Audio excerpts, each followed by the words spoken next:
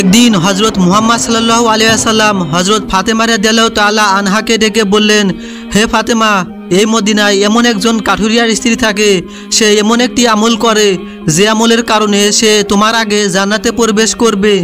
মুহাম্মদ সাল্লাহ আলিয়াল্লামের এই কথা শুনে হজরত ফাতেমা রাদিয়াল্লাহু তাআলা আনহা বললেন আব্বাজান এটা কীভাবে সম্ভব? আমি জান্নাতের সকল মহিলাদের সর্দারনি, কীভাবে কোনো মহিলা আমার পূর্বে জান্নাতে প্রবেশ করবে? জান্নাতে প্রবেশ করার আকাঙ্ক্ষা সকলেরই রয়েছে। আব্বাজান, দয়া করে আপনি আমাকে সেই কাঠুরিয়ার স্ত্রীর ঠিকানা বলুন, যাতে আমি দেখে আসতে পারি সে কি এমন আমল করে, যে আমলের কারণে সে আমার পূর্বে জান্নাতে প্রবেশ করবে। হজরত মুহাম্মদ সাল্লাহ আলিয়াল্লাম তখন তাকে বললেন, ফাতেমা, আজকে তুমি বাড়ি ফিরে যাও। কিছুদিন পরে সময় হলে আমি তোমাকে ডেকে নেব এবং তখন আমি তোমাকে সেই কাঠুরিয়ার স্ত্রীর ঠিকানা বলে দেব। হজরত ফাতেমা রাজিয়াল্লাহ তাআলা আনহা, হুজুর সাল্লাহ আলিয়াল্লামের কাছে এই কথা শ্রবণ করে বাড়ি ফিরে আসলেন। এভাবে বেশ কিছুদিন অতিবাহিত হয়ে গেল। এর মধ্যে হজরত ফাতেমা রাজিয়াল্লাহ তালা আনহা খুবই অসুস্থ হয়ে পড়লেন। একে তো তিনি ছিলেন অসুস্থ, অন্যদিকে একাধারে তিন দিন যাবৎ তার বাড়িতে কোনো খাবার ছিল না। খাবার না খেয়ে অসুস্থতার কারণে হজরত ফাতেমা রাজিয়াল্লাহ তালা আনহা অত্যন্ত দুর্বল হয়ে পড়লেন। শেরে খোদা হজরত আলী রাজিয়াল্লাহ তাআলা আনহুর হাতে এমন কোনো অর্থ ছিল না যে যার মাধ্যমে তিনি খাবার কুড়াই করে আনতে পারবেন। তিন দিন অতিবাহিত হবার পরে হজরত ফাতেমা রাজিয়াল্লাহ তাআলা আনহা হজরত আলী রাজিয়াল্লাহ তাআলা আনহুর হাতে একটি কাপড় দিয়ে বললেন, হে আমার প্রিয় স্বামী, আপনার হয়তো মনে আছে, আব্বাজান মুহাম্মাদুর রসুল্লাহ সাল্লাহু আলাইসাল্লাম আমাদের বিয়ের সময় এই কাপড়টি আমাদের হাদিয়া স্বরূপ দিয়েছিলেন। এটি অত্যন্ত বরকতময় একটি কাপড়। আমার মন চাচ্ছে না কাপড়টি আমি বিক্রি করে দেই। কিন্তু তারপরেও যেহেতু আমাদের ঘরে আজকে তিন দিন যাবৎ কোনো খাবার নেই, তাই আপনাকে আমি এই বরকতময় কাপড়টি দিচ্ছি। আপনি এটিকে বাজারে বিক্রি করে এর মূল্য দিয়ে কিছু খাবার কিনে আনুন। হজরত আলী রাজিয়াল্লাহ তালা আনহু, ফাতেমা রাজিয়াল্লাহ তালা আনহার কাছ থেকে সেই কাপড় নিয়ে বাজারের দিকে রওনা করলেন এবং তিনি কাপড় নিয়ে বাজারে পৌঁছে গেলেন। এবং সেটিকে বিক্রি করার জন্য অনেক ক্রেতাকে দেখালেন, কিন্তু কাপড়টি অত্যন্ত পুরাতন হওয়ায় কেউ সেটি ক্রয় করার জন্য আগ্রহ দেখাচ্ছিল না। এ কারণে হজরত আলী তাআলা আনহু একেবারে নিরাশ হয়ে পড়লেন। তখন আল্লাহ রব্বুল আলমিনের দরবারে ফরিয়াদ করলেন, হে রব্বুল আলামিন কাপড়টি অনেক পুরাতন, তাই এটিকে ক্রয় করার জন্য কোনো ক্রেতা আগ্রহ দেখাচ্ছে না। আজ তিন দিন যাবৎ নবীজি সাল্লাহ আলাইসাল্লামের কলিজার টুকরা হজরত ফাতেমা ও হাসান হুসাইন না খেয়ে আছে। আজকে যদি আমি এই কাপড়টি বাজারে বিক্রি করে এর মূল্য দিয়ে খাবার কিনে বাড়িতে নিয়ে যেতে না পারি, আজকেও তাদেরকে না খেয়ে থাকতে হবে। আপনি এই কাপড়টি ক্রয়ের জন্য একজন ক্রেতার ব্যবস্থা করে দিয়েন। শেরে খোদা হজরত আলী রাজিয়াল্লাহ তাআলা আনহুর এই দুয়ার পরই একজন ক্রেতা আগমন করল এবং সে তাকে প্রশ্ন করল, আলী, তুমি কি কাপড়টি বিক্রি করতে চাও? আলী রাজিয়াল্লাহ তাআলা আনহু বললেন, আমি তো বিক্রি করার জন্যই এটিকে বাজারে নিয়ে এসেছি। তখন সে বলল, কি পরিমাণ অর্থ দিলে তুমি এই কাপড়টি বিক্রি করে দেবে? শেরে খোদা হজরত আলী রাজিয়াল্লাহ আনহু জানতেন এই কাপড়টি অত্যন্ত পুরাতন। এর মূল্য সর্বোচ্চ এক দেড়হাম কিংবা দুই ডিরাম হতে পারে। তাই তিনি নিজে থেকে কোনো দাম চাইলেন না এবং বললেন, জনাব, আপনার যা মর্জি তাই প্রদান করুন। আমি নিজে থেকেই কাপড়টির কোনো দাম চাচ্ছি না। তখন সেই ক্রেতা বলল, আমি ছয় দেড়হাম দিয়ে কাপড়টি ক্রয় করতে চাই। তুমি কি বিক্রি করতে রাজি আছো? আলী রাজিয়াল্লাহ তাআলা আনহু খুশির সাথে রাজি হয়ে গেলেন এবং বললেন, জনাব, আপনি আমাকে ছয় দেড়হাম দিয়ে কাপড়টি ক্রয় করতে পারেন। অতপর ক্রেতা হজরত আলী রাজিয়াল্লাহ তালা আনহুকে ছয় দেড়হাম দিল এবং আলী রাজিয়াল্লাহ তালা আনহু তাকে সেই কাপড়টি হস্তান্তর করলেন। ওদিকে আল্লাহ রাবুল আলামিনের একজন ফেরেস্তা অন্য একজন ফেরেস্তাকে বলল নবীজি সাল্লাহ আলিয়াসাল্লামের সাহাবিরা অত্যন্ত দানশীল। তারা সুখে দুঃখে সর্ব অবস্থায় দান করে। ফেরেস্তাদের এই কথা শুনে অপর একজন ফেরেস্তা বলল, আল্লাহর নবী সাহাবিরা দান করে এ কথা ঠিক, কিন্তু তারা সুখে দুঃখে সব সময় দান করে না। যদি তাদের হাতে কোনো কিছু থাকে, তাহলে তারা দান করে। এবং তাদের হাতে থাকা জিনিসটার প্রয়োজন যদি তাদের নিজেদেরই থাকে, তখন তারা সেই জিনিসটা দান করে না। ফেরেস্তাদের এই ঝগড়ার সমাধান করবে আল্লাহ রব্বুল আলামিন তাদেরকে বললেন, হে আমার ফেরেস্তারা তোমরা পরস্পরের মাঝে ঝগড়া না করে এ বিষয়টিকে পরীক্ষার জন্য ছেড়ে খোদা আলীর নিগোজ চলে যাও। সে ছয় দিরহাম দিয়ে একটি কাপড় বিক্রি করেছে, আর এই ছয় দিরহাম তার অত্যন্ত প্রয়োজন। তোমরা আলীর কাছে সেই ছয় দিরহাম চাও, সে তোমাদেরকে দেয় কি না আর এর মাধ্যমে তোমাদের ঝগড়া সমাধান হয়ে যাবে। আল্লাহ রাবুল আলামিনের পক্ষ থেকে এই নির্দেশ লাভের পর একজন ফেরেস্তা ফকির বেশে হজরত আলী রাজিয়াল্লাহ তালা আনহুর কাছে আগমন করলেন। শেরে খোদা হজরত আলী রাজিয়াল্লাহ তালা আনহু ছয় ডিরহাম দিয়ে খাবার কুড়াই করতে যাচ্ছিলেন। পথিমধ্যে সে ফকির বেশে ফেরেস্তা তাকে বললেন, হে আল্লাহর বান্দা, আজ কয়েকদিন যাবত আমি না খেয়ে রয়েছি। দীর্ঘদিন যাবত না খেয়ে থাকার কারণে আমার শরীরে সামান্যতম নড়াচড়া করার মতো শক্তি নেই। আমি আল্লাহর ওয়াস্তে তোমার কাছে কিছু ফরিয়াদ করেছি, যদি তোমার নিকট কোনো অর্থ থাকে, দয়া করে আমাকে সেগুলো দান করো, যাতে সে অর্থ দিয়ে আমি খাবার কুড়াই করে খেতে পারি এবং আমার ক্ষুধা জ্বালা নিবারণ করতে পারি। ফকিরের এই প্রার্থনা শুনে হজরত আলী তাআলা আনহু ভাবতে লাগলেন, হায় আল্লাহ, আজ তিন দিন যাবৎ আমার স্ত্রী ও সন্তান না খেয়ে রয়েছে। তিন দিন পরে আমার স্ত্রী ফাতেমা আমাকে একটি কাপড় বিক্রি করতে দিলেন। কথা ছিল, সেই কাপড় বিক্রি করে তার অর্থ দিয়ে আমি তাদের জন্য খাবার ক্রয় করে নিয়ে যাব। কিন্তু আল্লাহর এক অসহায় বান্দা আমার কাছে ভিক্ষা প্রার্থনা করেছে। এখন আমি কি করব? আমি কি আমার স্ত্রী ও সন্তানের জন্য খাবার ক্রয় করে নিয়ে যাব, নাকি এই ভিক্ষুককে অর্থগুলো দান করব? সর্বশেষ তিনি সিদ্ধান্ত নিলেন যে ভিক্ষুককে এই অর্থগুলি দান করে দিবেন। অতপর তিনি মনে মনে ভাবতে লাগলেন, আল্লাহই আমার জন্য উত্তম অভিভাবক। এই ভিক্ষুকে আমি ছয় ডিরহাম দান করে দেই। অতপর আল্লাহ রাব্বুল আলামুনেই আমার জন্য ব্যবস্থা করে দিবেন। তখন তিনি ছয় ডিরাম ভিক্ষুকে দান করে দিলেন। এরপর অত্যন্ত চিন্তিত এবং পেরেশান মনে হজরত আলী রাজিয়াল্লাহ তালা আনহু সামনে চলতে লাগলেন। ইতিমধ্যে দেখা গেল, এক ব্যক্তি হজরত আলী রাজিয়াল্লাহ তালা আনহুর কাছে একটি উট নিয়ে আসলো। এবং সে তাকে বলল, হে শেরে খোদা আলী, আপনি কি আমার কাছ থেকে এ উটটি ক্রয় করতে চাচ্ছেন শেরে খোদা হজরত আলী রাদিয়াল্লাহু তাআলা আনহু বললেন, ভাই, আমি কীভাবে আপনার কাছ থেকে এই উটটি ক্রয় করব।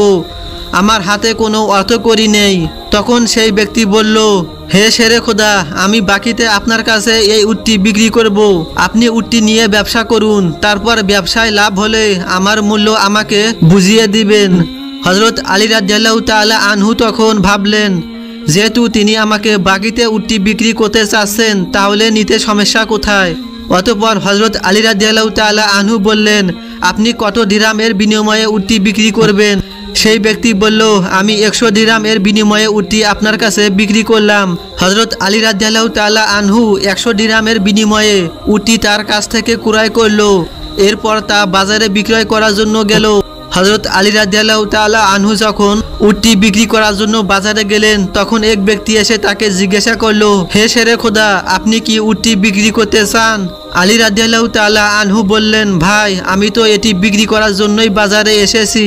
সেই ব্যক্তি বললেন, আপনি কত ডিরামের বিনিময়ে উটটি বিক্রি করতে চান? আলী রাদিয়াল্লাহু তাআলা আনহু নিজের থেকে কোনো দাম না চেয়ে সেই ব্যক্তিকে বললেন, আপনি কত ডিরামের বিনিময়ে উটটি কিনতে চান? সেই ব্যক্তি বলল, আমি একশো ষাট ডিরামের বিনিময়ে উটটি আপনার কাছ থেকে ক্রয় করতে চাই। হজরত আলী রাদিয়াল্লাহু তাআলা আনহু চিন্তা করলেন, আমি তো উটটি একশো ডিরামের বিনিময়ে ক্রয় করেছি। আর তিনি আমাকে মূল্য পরিশোধ করতে চাচ্ছেন। একশো ষাট দিরাম। অথেব এতে আমার ষাট দিরাম লাভ হবে। তখন হজরত আলী রাজিয়াল্লাহ তালা আনহু বললেন, ভাই, আমি আপনার কাছে একশো ষাট দিরামের বিনিময়ে উটটি বিক্রি করে দিলাম। সেই ব্যক্তি হজরত আলী রাজিয়াল্লাহ তালা এর কাছে একশো ষাট দিরাম দিয়ে সেই উটটি ক্রয় করলেন।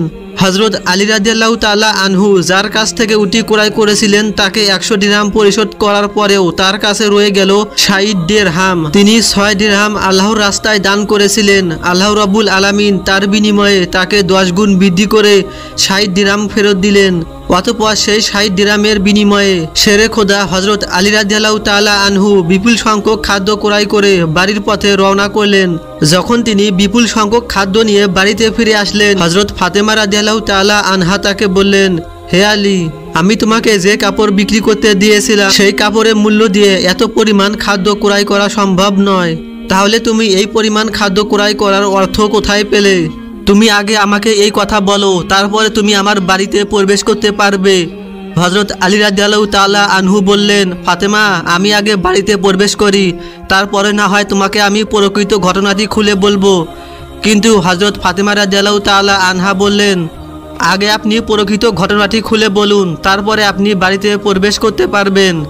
শেরে খোদা হজরত আলী রাজিয়াল্লাহ তালা আনহু বললেন, ফাতেমা, তুমি তো ভালো করেই জানো যে তোমার স্বামী হজরত আলী রাজিয়াল্লাহ তালা আনহু কোনোদিন অবৈধভাবে অর্থ উপার্জন করবে না। আমি যেই পন্থায় অর্থগুলি উপার্জন করেছি, তা সম্পূর্ণ বৈধ একটি পন্থা। অতএব এই ব্যাপারে তোমার সন্দেহ করার কোনো কারণ নেই। কিন্তু হজরত ফাতেমা রাজিয়াল্লাহ তালা আনহা, আলী রাজিয়াল্লাহ তালা আনহুর এই কথাগুলো তেমন একটা বুঝতে চাইলেন না। হজরত আলী ফাতেমা রাদিয়াল্লাহু তাআলা আনহু এর মাঝে এই ঘটনা ঘটার কিছুদিন পরে হুজুরে আকরাম সাল্লাল্লাহু আলাইহি ওয়াসাল্লাম ফাতেমা রাদিয়াল্লাহু তাআলা আনহাকে ডেকে বললেন হে ফাতেমা, তোমার কি মনে আছে? আমি কিছুদিন পূর্বে তোমাকে বলেছিলাম, একজন কাঠুরার স্ত্রী তোমার পূর্বে জান্নাতে প্রবেশ করবে। হজরত ফাতেমা রাদিয়াল্লাহু তাআলা আনহা বললেন, আব্বাজান, অবশ্যই আমার মনে আছে এবং আমি সেই কাঠুরিয়ার স্ত্রীর সাথে সাক্ষাৎ করার জন্য অধীর আগ্রহে ব্যাকুল হয়ে রয়েছি। দয়া করে আপনি আমাকে তার ঠিকানাটা বলুন, যাতে আমি দেখে আসতে পারি সেই কাঠুরিয়ার স্ত্রী কি এমন আমল করে, যার কারণে সে আমার পূর্বে জান্নাতে প্রবেশ করবে। তখন মুহাম্মদ সাল্লাহ আলিয়াল্লাম তাকে বললেন, হে ফাতেমা, কোনো এক নির্জন জঙ্গলের মধ্যে সেই কাঠুরিয়া ও তার স্ত্রী বসবাস করে। তুমি যাও, তার সাথে সাক্ষাৎ করে এসো। হুজুরে আকরাম সাল্লাহ আলিয়াল্লামের কাছ থেকে ফাতেমা রাদিয়াল্লাহু তালা আনহা সেই কাঠুরিয়ার স্ত্রীর ঠিকানা পেয়ে তার সাথে সাক্ষাৎ করার জন্য রওনা করলেন। যখন তিনি কাঠুরিয়ার বাড়িতে এসে পৌঁছালেন তখন হজরত ফাতেমা রাদিয়াল্লাহু তাআলা আনহা সালাম দিয়ে বললেন, বাড়িতে কেউ আছেন? আমি নবীর মেয়ে ফাতেমা বলছি। আমি কি ভেতরে আসতে পারি? বাড়ির ভেতর থেকে আওয়াজ আসলো, আমি পরম সৌভাগ্যবান যে আমার বাড়িতে নবীর মেয়ে হজরত ফাতেমা আগমন করেছেন। হে আল্লাহর নবীর মেয়ে, আপনি বলুন, কেন আপনি আমার বাড়িতে আগমন করেছেন? তখন হজরত ফাতেমা রাজিয়াল্লাহ তাআলা আনহা বললেন, আমি আপনার সাথে দেখা করতে চাই। দয়া করে আমাকে ভেতরে আসতে দিয়েন। তখন কাঠুরিয়ার স্ত্রী বলল, হে আল্লাহর নবীর মেয়ে, সে জান্নাতি সর্দারনি। আপনার সাথে দেখা করার একান্ত আগ্রহ আমার মনে রয়েছে। কিন্তু তারপরেও আমি আপনাকে ঘরে আসার অনুমতি দিতে পারি না। কেননা, এটি আমার স্বামীর ঘর। আর আমি স্বামীর অনুমতি ছাড়া কোনো মানুষকে ঘরে প্রবেশ করার অনুমতি দিতে পারি না। দয়া করে আপনি আগামীকালকে আসবেন। আমি আমার স্বামীর কাছ থেকে আপনার ব্যাপারে অনুমতি নিয়ে রাখব। যদি আমার স্বামী অনুমতি দান করেন, তবেই কেবল আপনাকে ঘরে প্রবেশ করার অনুমতি দিতে পারি। কাঠুরিয়ার স্ত্রীর কাছ থেকে একথা শ্রবণ করার পর হজরত ফাতেমা রাদেলাউ আনহা বাড়িতে ফিরে গেলেন। দ্বিতীয় দিন যখন তিনি কাঠুরিয়ার স্ত্রীর সাথে দেখা করার জন্য বাড়ি থেকে বের হবেন, তখন হজরত হাসান রাদিয়াল্লাহু তালা আনহু তাকে জড়িয়ে ধরে বললেন আম্মাজান আপনি কালকে কোথায় গিয়েছিলেন? আপনাকে আমি খুঁজে পাচ্ছিলাম না। আপনি যেখানে যাচ্ছেন, দয়া করে আমাকে আপনার সাথে নিয়ে যান। হজরত ফাতেমা রাদিয়াল্লাহু তালা আনহা তখন তার বড় পুত্র হাসানকেও তার সাথে নিলেন। এবং এরপরে তিনি কাঠুরার স্ত্রীর বাড়িতে পৌঁছে গেলেন। অতপর সালাম দিয়ে বললেন, বাড়িতে কেউ কি আছেন? আমি নবীর মেয়ে ফাতেমা বলছি এবং আমার সাথে আমার বড় পুত্র হাসান রয়েছে। আমি কি বাড়ির ভেতরে আসতে পারি? ভেতর থেকে আওয়াজ দিয়ে কাঠুরিয়ার স্ত্রী বলল, হে নবীর মেয়ে ফাতেমা, আপনার সাথে দেখা করার প্রবল আকাঙ্ক্ষা আমার মনে রয়েছে। গতকালকে আমি স্বামীর কাছ থেকে আপনার ব্যাপারে অনুমতি নিয়েছিলাম, কিন্তু আপনি যে আপনার সাথে আপনার বড় পুত্র হাসানকে নিয়ে এসেছেন, তার ব্যাপারে আমার স্বামীর কাছ থেকে আমি অনুমতি গ্রহণ করিনি। এর কারণে আমি আপনাকে ঘরে প্রবেশ করার অনুমতি দিতে পারি, কিন্তু আপনার বড় পুত্র হাসানকে অনুমতি দিতে পারি না। দয়া করে আপনি আগামীকালকে আসবেন। আপনার পুত্র হাসানের ব্যাপারেও আমি আমার স্বামীর কাছ থেকে অনুমতি নিয়ে রাখব। কাঠুরিয়ার স্ত্রীর কাছ থেকে এই কথা শ্রবণ করার পরে হজরত ফাতেমারা দেলাউ তালা আনহা ফিরে গেলেন। পরদিন যখন তিনি আবার কাঠুরিয়ার স্ত্রীর সাথে দেখা করার জন্য রওনা করবেন, তখন তার ছোট ছেলে ইমাম হুসাইন রাজিয়াল্লাহ তালা আনহু তাকে জড়িয়ে ধরে বললেন আম্মাজান আপনি দুই দিন যাবৎ কোথায় যাচ্ছেন? আমি আপনাকে খুঁজে পাচ্ছিলাম না। আজকে আপনি আমাকেও সঙ্গে নিয়ে যান। হজরত ফাতেমারা দেলাউ তাআলা আনহা তখন তার দুই পুত্র হাসান ও হুসাইনকে নিয়ে সেই কাঠুরিয়ার বাড়িতে গেলেন এবং তিনি সালাম দিয়ে বললেন, বাড়িতে কেউ কি আছেন? আমি নবীর মেয়ে ফাতেমা বলছি এবং আমার সাথে আমার দুই পুত্র হাসান ও হুসাইন রয়েছে।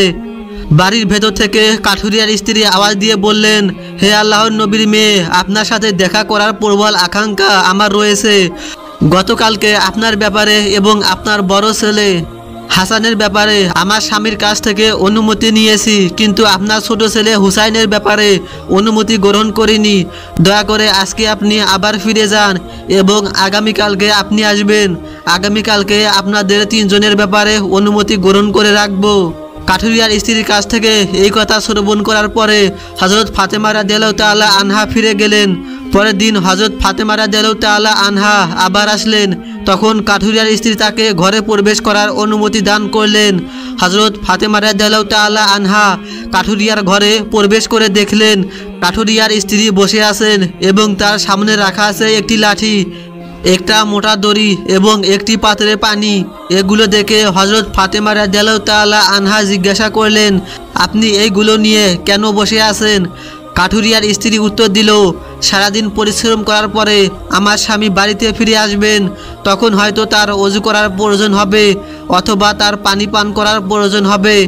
আমি চাই না ক্লান্ত স্বামী পানির জন্য সামান্যতম কষ্ট পায়, যাতে পানির প্রয়োজন হওয়ার সাথে সাথেই আমি তার কাছে পানি পরিবেশন করতে পারি। এ কারণে আমি এই পানি নিয়ে বসে আছি। হজরত ফাতেমা তাআলা আনহা জিজ্ঞাসা করলেন হে বোন, এই লাঠি কেন প্রয়োজন এবং এই দড়ি বা কি প্রয়োজন? কাঠুরিয়ার স্ত্রী তখন উত্তর দিল, আমার স্বামী যদি কোনো কারণে আমার ওপর অসন্তুষ্ট হন এবং আমাকে শাস্তি দেওয়ার ইচ্ছা করেন, তখন তার প্রয়োজন হবে একটি লাঠি। এবং আমাকে বেঁধে শাস্তি দিতে পারেন, এজন্য তার প্রয়োজন হবে একটি দড়ি। আমি চাই না এইগুলি খোঁজাখুঁজি করতে গিয়ে আমার স্বামীর কোনো প্রকারের কষ্ট হয়, সেজন্য আমি আমার সামনে এই জিনিসগুলো নিয়ে বসে আছি। যখনই আমার স্বামী কোনো কারণে আমাকে শাস্তি দিতে চাইবেন, তখনই তার সামনে লাঠি এবং দড়ি উপস্থিত রয়েছে। তিনি আমাকে এই দড়ি দিয়ে বেঁধে এবং লাঠি দ্বারা শাস্তি দিতে পারবেন। হজরত ফাতেমা রাদিয়াল্লাহু তাআলা আনহা কাঠুরিয়ার স্ত্রীর স্বামী ভক্তি দেখে বিস্ময়ে হতবাগ হয়ে গেলেন। অতপর তিনি তাকে কিছু বলে হুজুরে আকরাম সাল্লাহ আলিয়াল্লামের দরবারে ফিরে আসলেন। হুজুরে আকরাম সাল্লাহ আলাইসাল্লাম ফাতেমা রাদিয়াল্লাহু তাআলা আনহাকে বললেন ফাতেমা, তুমি কি সেই কাঠুরিয়ার স্ত্রীর সাথে দেখা করে এসেছ? ফাতেমা বললেন, আব্বাজান, আমি তার সাথে দেখা করে এসেছি। হুজুরে আকরাম সাল্লাল্লাহু আলাইহি সাল্লাম বললেন, তুমি কি দেখলে? হজরত ফাতেমা রাদিয়াল্লাহু তাআলা আনহা উত্তর দিলেন, সেই মহিলাটি অত্যন্ত স্বামী ভক্ত হুজুরে আকরাম সাল্লাল্লাহু আলাইহি সাল্লাম বললেন, ফাতেমা, তার কাছ থেকে তোমার অনেক কিছু শেখার রয়েছে। হজরত ফাতেমা রাদিয়াল্লাহু তাআলা আনহা বললেন, আব্বাজান, আমি তার কাছ থেকে কি কি শিক্ষা গ্রহণ করতে পারি এবং সে কীভাবে আমার পূর্বে জানাতে যাবে? এ ব্যাপারে আমাকে একটু বুঝিয়ে বলুন। হুজুর সাল্লাল্লাহু আলাইহি সাল্লাম বললেন, হে ফাতেমা, শোনো, তুমি কিছুদিন আগে তোমার স্বামী আলীকে একটি কাপড় বিক্রি করার জন্য দিয়েছিলেন। হজরত আলী এসে সে কাপড় বিক্রি করে তোমার জন্য অনেকগুলি খাবার ক্রয় করে নিয়ে এসেছিল। কিন্তু তুমি সন্দেহ করেছিলে যে আলী এগুলো বৈধ পথে উপার্জন করেছে কিনা। এজন্য তুমি তোমার স্বামীকে ঘরে প্রবেশ করতে দাওনি এবং তাকে বিভিন্ন প্রকার প্রশ্ন করার মাধ্যমে কষ্ট দিয়েছ। অথচ তুমি জানতে তোমার স্বামী আলী কোনোদিন অবৈধ পথে উপার্জন করে না। হে ফাতেমা, তুমি যখন আলীকে সেই কাপড় বিক্রি করার জন্য দিয়েছিলে হজরত আলী তার জন্য কোনো ক্রেতা খুঁজে পাচ্ছিল না। তখন আল্লাহ রাবুল আলামিন তার ফেরেস্তা হজরত মিকাইলকে কাপড়টি ক্রয় করার জন্য পাঠিয়ে দিয়েছিলেন। আল্লাহর ফেরেস্তা মিকাইল ছয় দিরামের বিনিময়ে হজরত আলী রাজিয়াল্লাহ তাআলা আনহুর কাছ থেকে সেই কাপড় ক্রয় করেছিল। এরপর আল্লাহর এক ফেরেস্তা এসে আলীর কাছ থেকে সেই ছয় দিরহাম ভিক্ষা প্রার্থনা করে। আলী সেই ছয় দিরহাম আল্লাহর রাস্তায় দান করে দেয়। অতপর সে চিন্তিত অবস্থায় বাড়ি ফিরে আসছিল এমন সময় হজরত জিব্রাইল তার কাছ থেকে একটি উট একশো ডিরামের বিনিময়ে বাকিতে বিক্রি করে দেয়। হজরত আলী উটটিকে নিয়ে বাজারে যায় এবং হজরত ইসরাফিল আলাইসাল্লাম একশো ষাট দিরামের বিনিময়ে তার কাছ থেকে উটি ক্রয় করে। আল্লাহ রবুল আলামিন ছয় দিরামের বিনিময়ে দশ গুণ বৃদ্ধি করে ষাট দিরহাম প্রদান করেন। এবং সেই অর্থ দিয়েই হজরত আলী সেগুলো দিয়ে প্রচুর পরিমাণ খাদ্য ক্রয় করে তোমার জন্য নিয়ে গিয়েছিল। ফাতেমা, শুনে রাখো, যে কাপড়টি হজরত আলী বিক্রি করে দিয়েছিল, আল্লাহ রব্বুল আলামিন সেই কাপড়টি জান্নাতে সংরক্ষণ করে রেখেছেন এবং যে উটি দিয়ে ব্যবসা করেছিল, সেই উটিকে আল্লাহ রব্বুল আলামিন জান্নাতে সংরক্ষণ করে রেখেছেন। কাল কিয়ামতের দিন যখন তুমি জান্নাতে প্রবেশ করবে, তখন তুমি সেই উটের ওপর থাকবে। এবং সেই কাপড়টি হবে উটের লাগাম, আর সেই লাগাম ধরে থাকবে উক্ত কাঠুরিয়ার স্ত্রী। লাগাম ধরে থাকার কারণে সে তোমার আগেই জান্নাতে প্রবেশ করবে এবং তুমি তারপরে জান্নাতে প্রবেশ করবে। কাঠুরিয়ার স্ত্রীর অতুলনীয় স্বামী ভক্ত হলো তার এই মর্যাদা প্রাপ্তির একমাত্র কারণ। প্রিয় দর্শক, এটি হলো হজরত ফাতেমা ও কাঠুরিয়ার স্ত্রীর কাহিনী। আল্লাহ রব্বুল আলামিন এই কাহিনী থেকে আমাদের শিক্ষা লাভ করার তৌফিক দান করুন। আসুন সকলে বলি, আমিন।